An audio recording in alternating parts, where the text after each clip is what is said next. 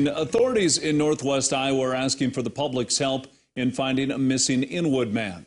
In a post on its Facebook page, the Lyon County Sheriff's Office says this man was last seen in late February and has not returned home.